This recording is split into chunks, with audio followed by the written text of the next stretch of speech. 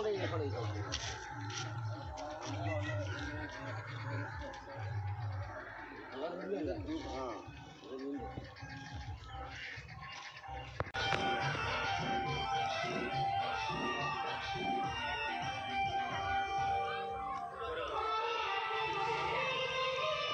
জিন্দাবাদ।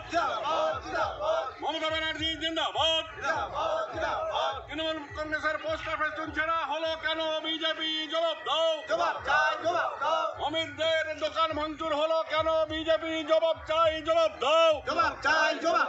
বন্দে মাতরম।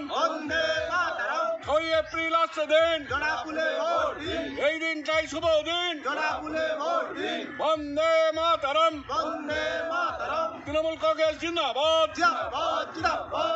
রাত্রিরে, রাত্রি দশটা এগারোটার সময় কিছু বিজেপি দুষ্কৃতী, আমাদের তৃণমূল কংগ্রেসের পোস্টার ও ফেস্টুন ছিঁড়ে ফেলে ফেলে দেয় এবং অমিতদের একটা দোকান ভাঙচুর করে।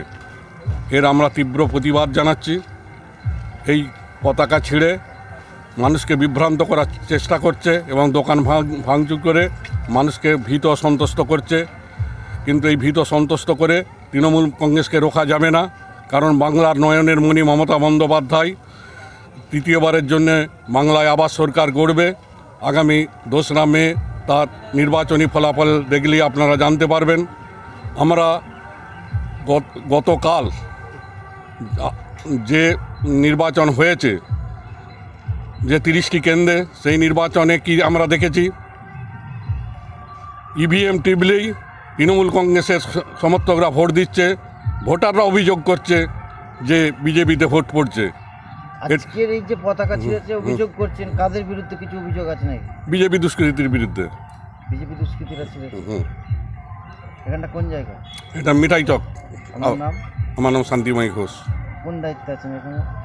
আমি প্রাক্তন অঞ্চল সভাপতি। এবং এখন দলের কনভেনার মান্দার অঞ্চল।